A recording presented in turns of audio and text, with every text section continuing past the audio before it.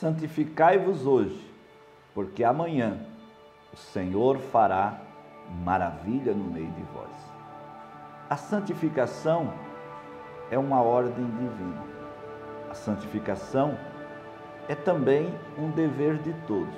E ainda, a santificação é uma necessidade mais do que atual na igreja. É uma ordem divina, pois foi Deus que nos ordenou, dizendo: santificai-vos.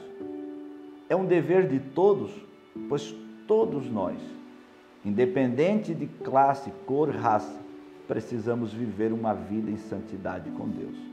É uma necessidade mais do que atual, porque o mundo hoje quer nos prender e nos enredar, mas é através da santificação que nós experimentamos algo sobrenatural com Deus.